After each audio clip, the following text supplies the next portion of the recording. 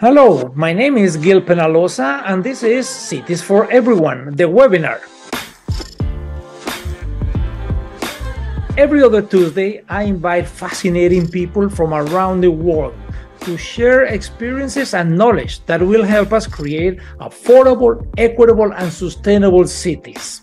I was born in Bogota, Colombia, where as commissioner I led the design and construction of over 200 parks and took a small program called Ciclovia, Open Streets, and increased it to over 120 kilometers, 75 miles of car-free streets every Sunday and holiday where more than a million people walk, bike, run, shop, enjoying the presence of each other. 17 years ago, I created 880 Cities, a non-profit organization based in Toronto, Canada, where I live. Last year, I ran for mayor and came second with 100,000 votes. My aim was to change the conversation in creating a Toronto for everyone. I've been fortunate to have worked in over 350 cities in all continents, sharing and learning. Based on all experiences, I developed master classes and keynotes customized to each city. But Cities for Everyone, the webinar, is a way of giving back. It's always free and hopefully always interesting. Please invite others to join us every other Tuesday, anyone who cares about cities and people, equity and sustainability, about all living older, healthier, and happier.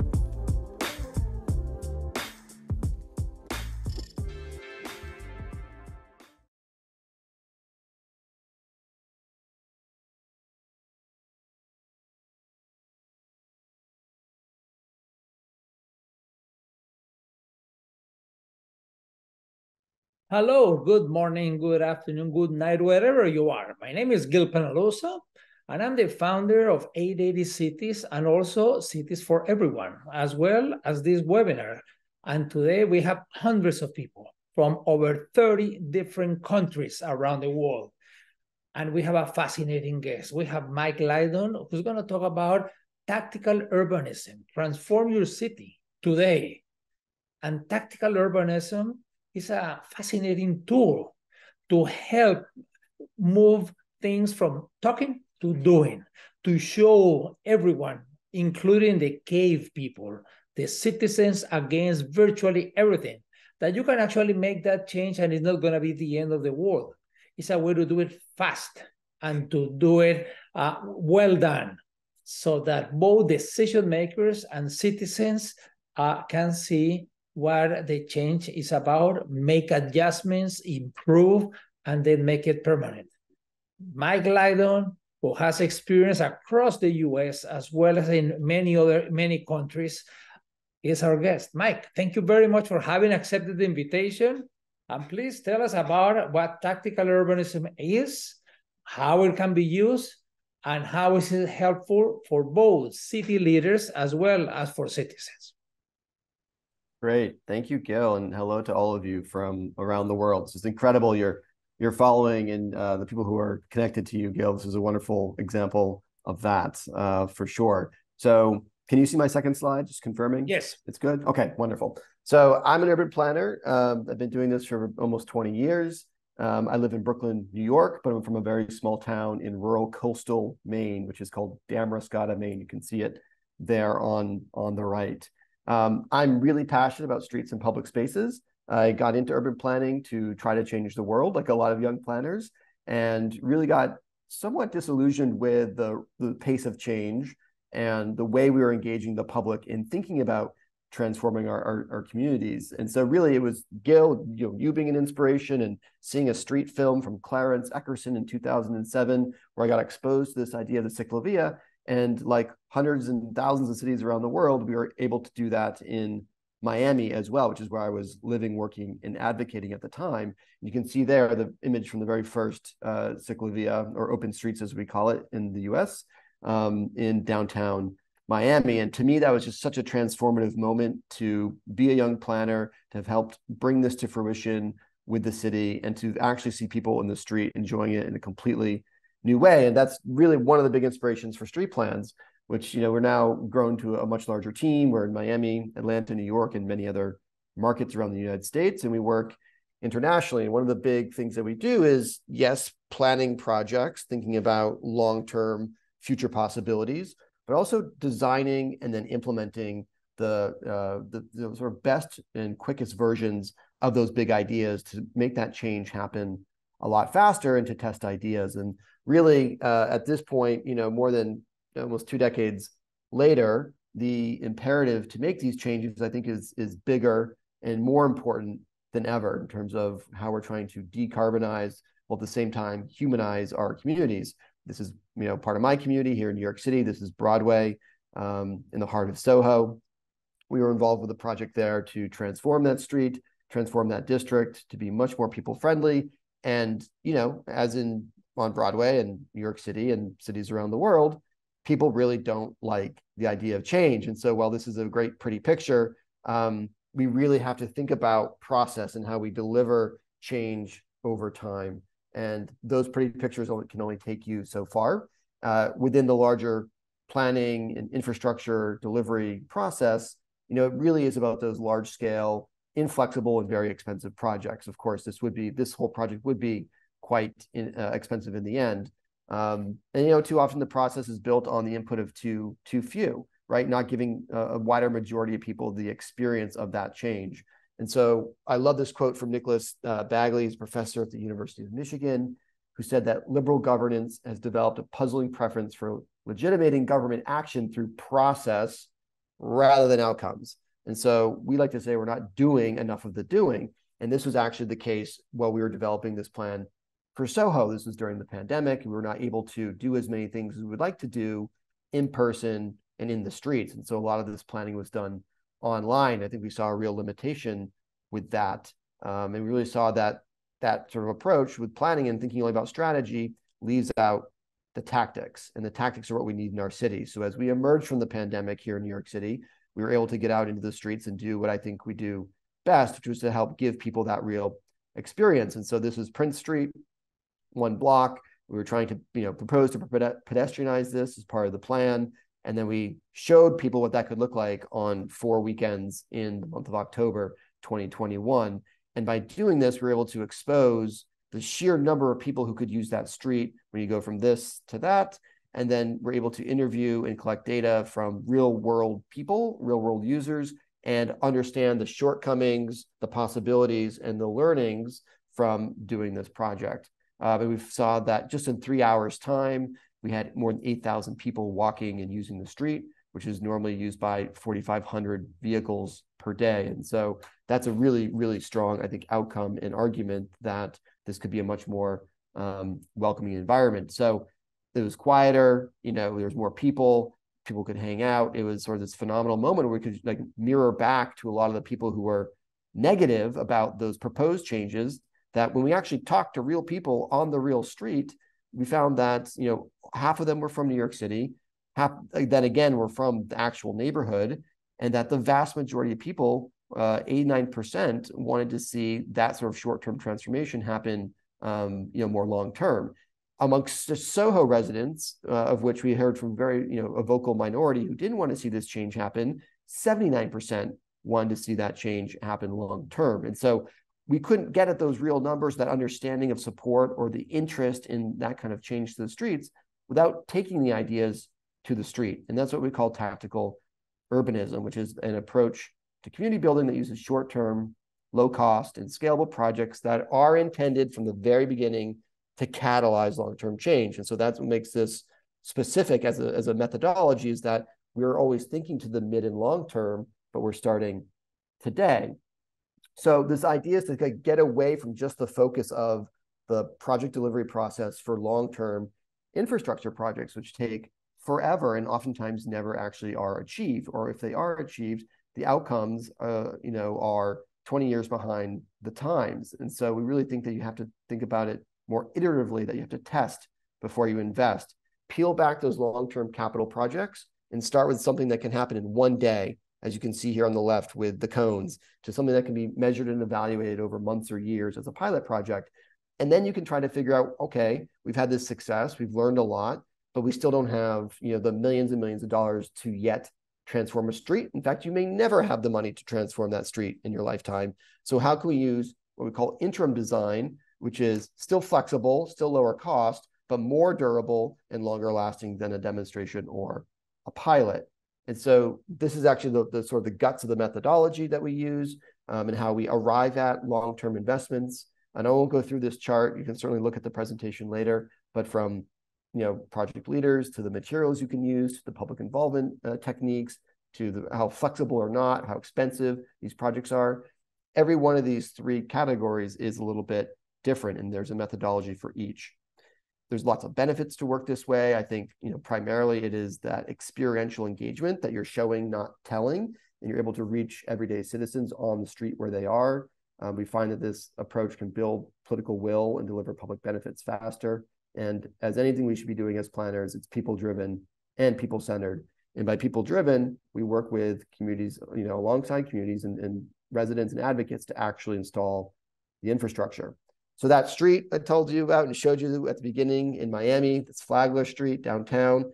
It there's a rendering in the middle, and then there's a ribbon cutting recently on transforming that street into one that's curbless and can be used for events such as open streets with much more frequency. So short-term action can absolutely lead to long-term change a little bit more academically here. You know, we've seen this methodology and our excitement for it, you know, and our tools and methods have, have evolved as practitioners around the globe.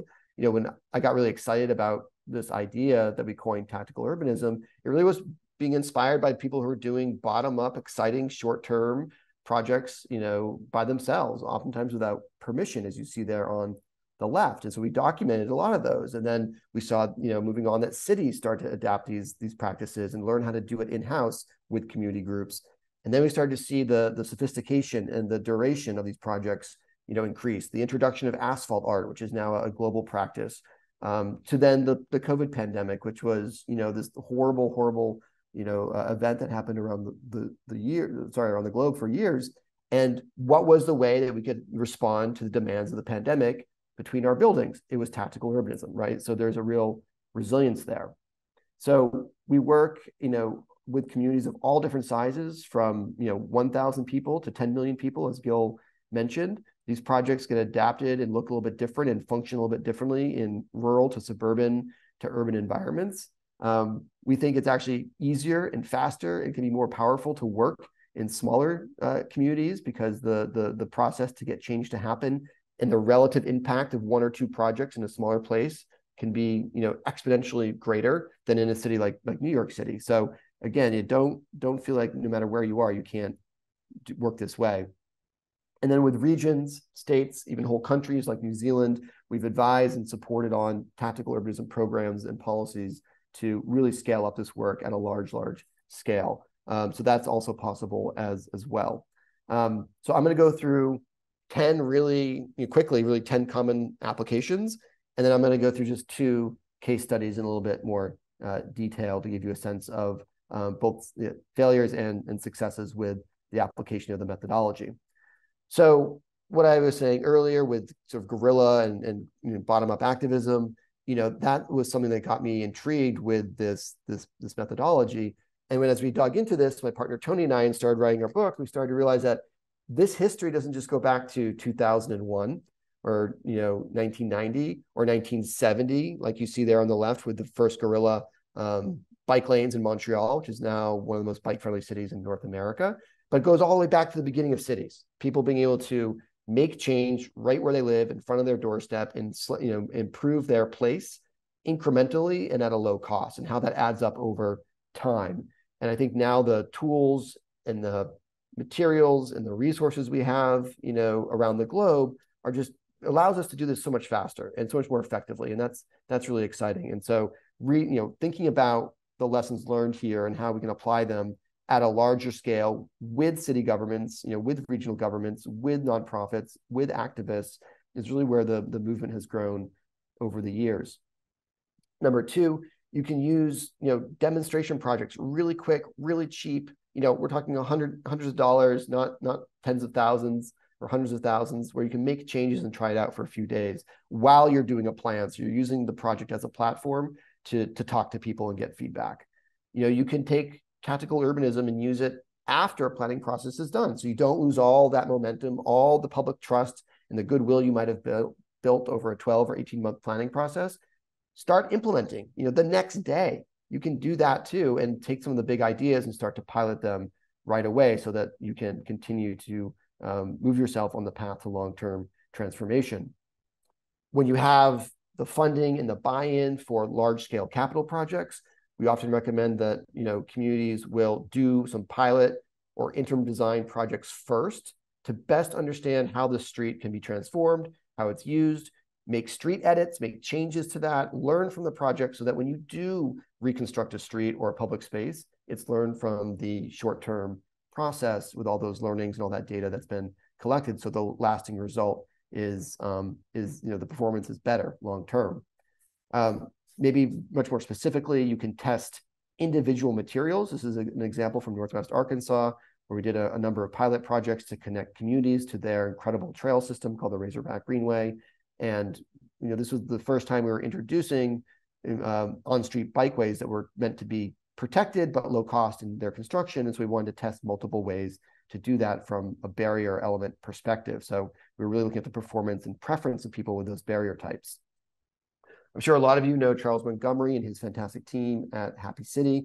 We were able to work with them on a, a research project in West Palm Beach on the waterfront where we measured a group of people before and after an intervention that we led on the, you know, which you can see on the left to understand how people responded to that intervention um, in a number of different ways, uh, emotionally and from a trust building perspective, and how calm they were, you know, before and after. So you can really use tactical urbanism as a way to do more academic, you know, inquiries and, and research projects.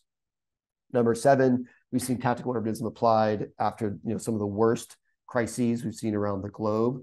Um, pictured here is a couple images from after the uh, series of earthquakes that hit Christchurch, New Zealand, about a, more than a decade ago, and then the incredible response from the people there on um, on how to start rebuilding their city. And they didn't wait for you know millions and millions of dollars from from their from their government. They started reusing materials from the rubble and activating those uh, those spaces to bring life and social activity back to their community. And it's that impulse to to respond to crisis quickly that we saw during the pandemic. So a little aside here, you know, I love this image from Toronto. Um, this artist was out with his uh, six foot radius. Um, um, uh, I don't know sure what the name was of this installation, but you can see how he's showing that okay, if we all need six feet, doing that in a compact city is very very challenging. So we need street space, and street space is what was taken for those purposes around the globe. When we worked with um, NACTO and, and uh, GDCI, the Global Designing Cities Initiative, to um, to provide guidance. We looked at all those initiatives globally, and really it came down to these six different transformations that cities were um, experimenting with. Um, and by June of that year in 2020, we saw initiatives from all over the globe, and multiple communities were doing multiple things um, on their streets to to test them out. Um, so there's a lot of guidance that came out of that. Um, but I think again, the most important thing is we could see whether it's the shortest and most small scale and, and, and inexpensive project that you see on the left to the pilot materials and processes to more interim design that's coming out of those projects um, to long-term investment. You can see there on the right from Paris, one of their pandemic bikeways. Uh, you know, I took that image in 2021 on a visit where it was being upgraded with permanent infrastructure. So to respond to crises, we can be really um, nimble when we need to be with the methodology. What we call site revitalization, that's when you might have you know underutilized uh, space in the city, whether that's you know a storefront or it's a street or it's a public space, and how do you bring life to that you know quickly and do a lot of trialing of different programs and activations to to build life and build longer term investment in around those those vacant spaces. Number nine, road safety response. We we suffer from terrible traffic crashes around um, you know the United States and of course the globe. And when those crashes happen, you know ideally you would have designed your streets beforehand so they don't happen so severely, but you can respond very quickly, as we did in Brooklyn, New York, um, you know, about a year and a half ago when a little baby who was three months old got run over by a uh, reckless driver. Um, and so we responded with the city and were able to close off this short street so that would not be possible ever again. And finally, to to scale this work and to um, make the, the, the methodologies and materials very clear and to include NGOs and citizens and, and many different actors. Cities have developed uh, policies and programs and guides on how to do that officially. And I think that's really an important thing to consider if we want to take tactical ur- urbanism to, not from a project scale, but to a citywide scale. So I'm going to end with two quick case studies um, before we get to the questions and the dialogue um, with Gil. And one is from a project called Move Culver City, um, which we initiated in, in 2020, um, in 2021. And this was really meant to be uh, the transformation of three corridors in Culver City, which is a, um, suburban um, the city just adjacent to Los Angeles, between Los Angeles and Santa Monica. Um, it's the home of the film industry, so there's, there's lots of, of jobs and studios and and whatnot um, in that place. But in any event, there was some good plans that were developed around their their metro station, around um, cycling and walking, um, and then the pandemic hit, and they had to make some of those changes more quickly, and realize that we could maybe make some of those changes last longer and test more um, amenities and infrastructure uh, on these major streets. And so we worked with the city very closely in the community to bring in a whole range of project elements from protected bus lanes and bike lanes to um, a lot of pedestrian safety interventions to accommodating micromobility, and then bringing in placemaking as sort of the, the overlay to all of that to support their goals um, at the city and, and some of their policies. You know, street plans worked with um, T.Y. Lin and Sam Schwartz on all the street design. Uh, we developed all the asphalt art and we went through several months of, of work and revisions alongside the community um, to then ultimately result in a, a week-long installation to deliver on the, the 1.3 miles uh, along the corridor, all those big transformations. And You can see here the sheer amount of space that we were taking back. And in summary, it was in total 2.6 miles of dedicated bus lanes, 14 new uh, bus and bike platforms that we had uh, fabricated, um, more than a mile of protected bike lanes, and uh, 30,000 square feet of asphalt art, which is, I think, the largest installation that we have done to date. Um, and some quick before and afters. You could see five lanes that go down to, to the two. And here's a big transformation as well at another location. Um, the amount of space that we were, we were, able to reclaim and give back to other modes. Um, and we, like any pilot project, we study it very closely to understand what's working. And of course, more importantly, what's not. But We also measure, you know, what is the, the pre and post in terms of the, the way the, the space is being used in the post implementation at one location, you can see here, uh, actually, sorry, the summary of all the locations along the whole corridor was we went from 100% space for motor vehicles, parking and driving, um, to uh, 56% of the space given over to uh, other ways of, of moving and being on the corridor. So walking, cycling, and, and bus transport. Um, so really pretty dramatic transformation in, um, in that community. And we issued two different pilot reports, one at the six month mark, one at the year mark, to you know to be able to report very transparently what we were learning and what the outcomes of this project were. We saw a large increase, you know, almost 40% in their city bus ridership. Um, you know, more even larger increase in cycling um, and micromobility trips. Uh, bus times went much faster. So if you're moving through the corridor, that was then four minutes faster to go from end to end.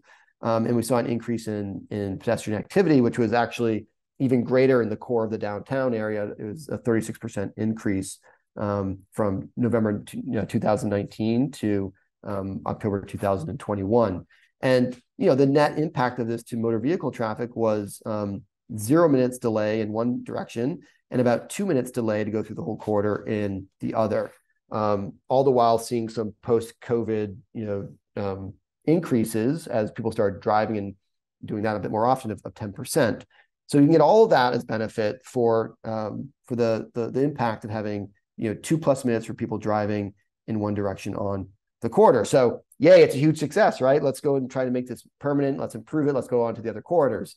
No, that's not what happened. The politics changed pretty dramatically. New city council came in. Um, a bit of leadership was lost, and city council decided to roll back some of the better um, elements that were in this project, including um, combining the bus and bike lane so they could uh, reintroduce uh, travel lanes for for traffic on the street. So even when we have all the data, even when we have success, even when we think we have a good amount of public support, um, sometimes these projects get uh, changed and they get um, adapted to go in different directions that you may not have predicted. But that is the reality of the political process, and so it's important to really understand what your strategies are if and when that might happen with the projects that you bring to a community and then being very transparent about you know being able to make those changes and seeing what you learn for the next one and the next one and the next one.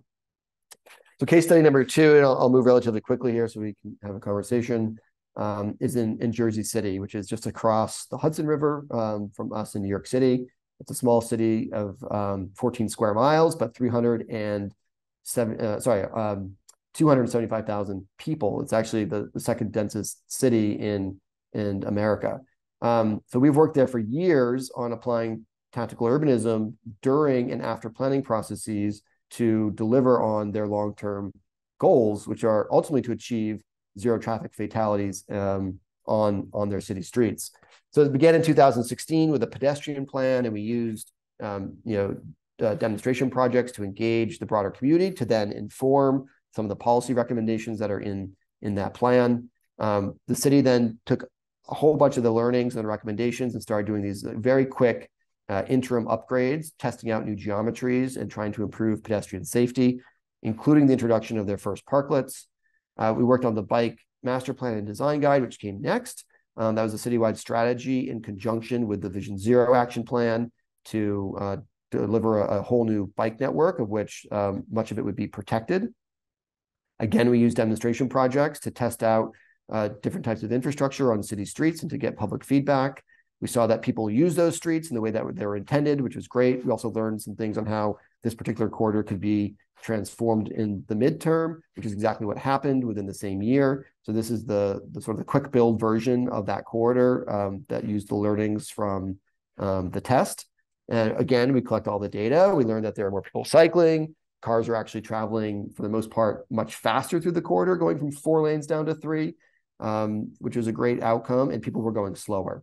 Um, and so after those few years and those few projects, the investment opportunity came to really invest citywide in uh, transforming streets and starting with some of the most dangerous ones at that, which is this is a, a, good example from Washington Boulevard where they were about to repave the project. So in the months leading up to it, put in a you know, protected bike lane really, really quickly and expensively, learned something, repaved the streets. We came in and we redesigned it, as you see here. That got implemented for a couple of years, and then they came back again and have upgraded the materials to be much longer lasting. So that iterative process on just this one street is basically the methodology they're using citywide. And there you can see the more recent version of that with longer lasting green paint um, and the, um, the hardened barriers on the bike lane.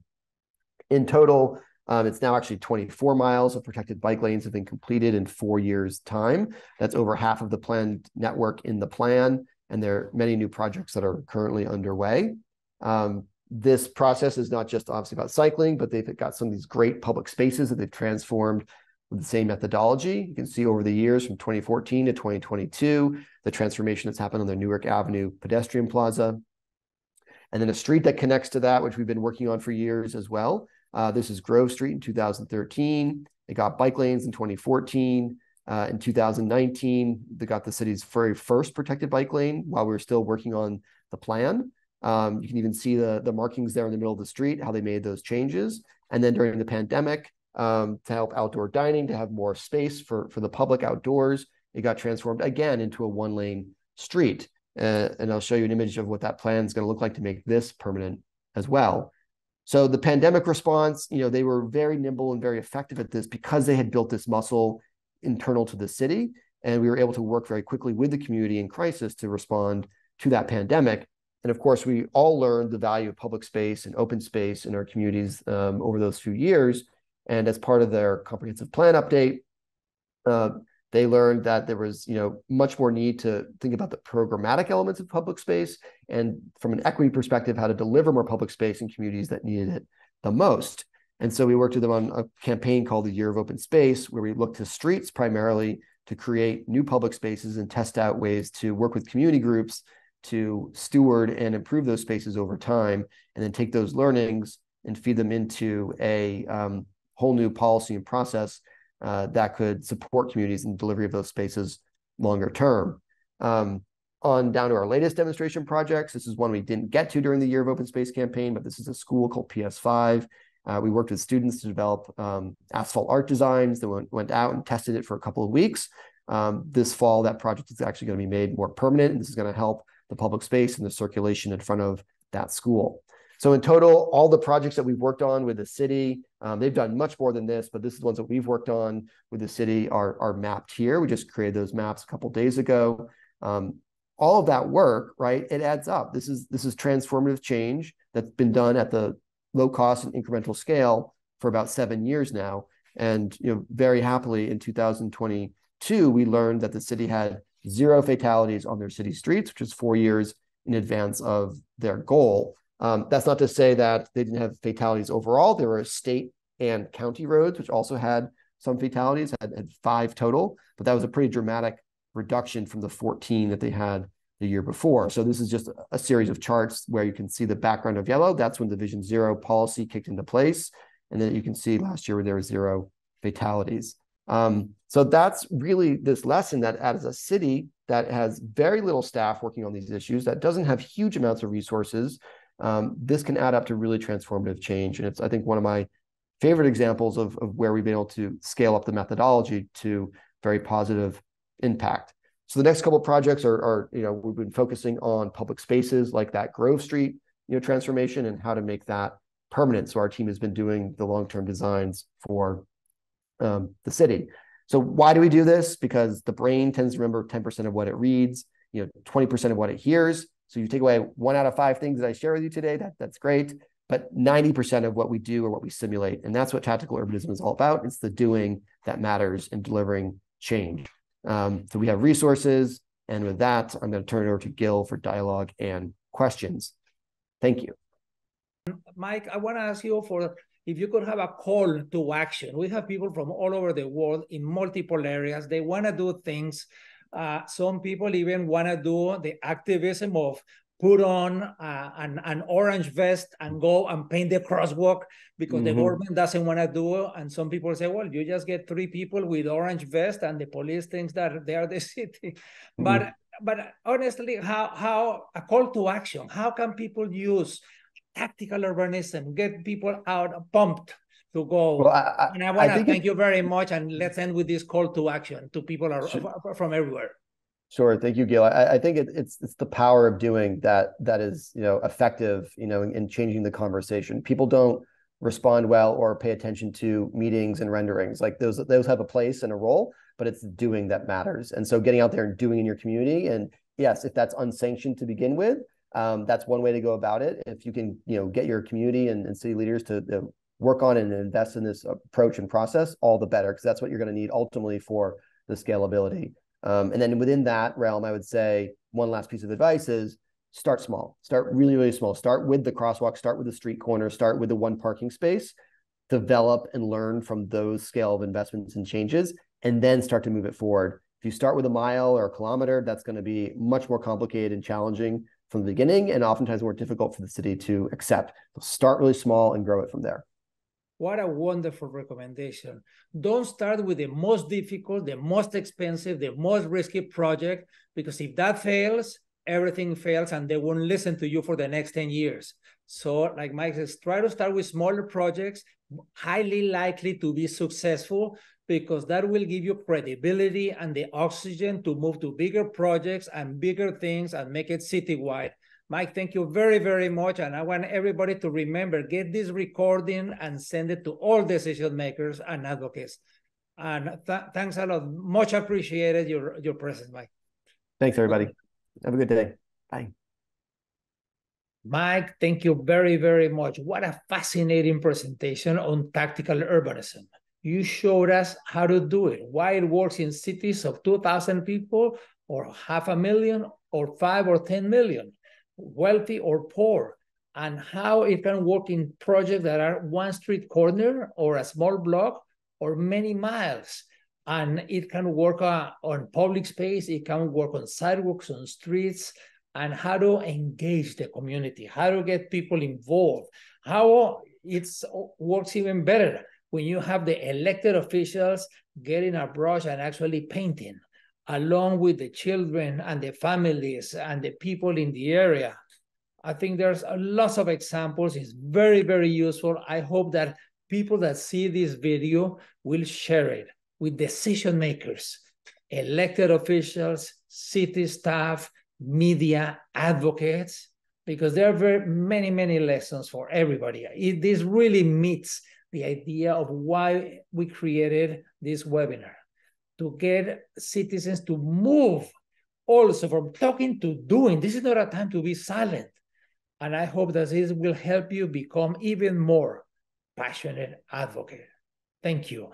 And we'll see you in two weeks.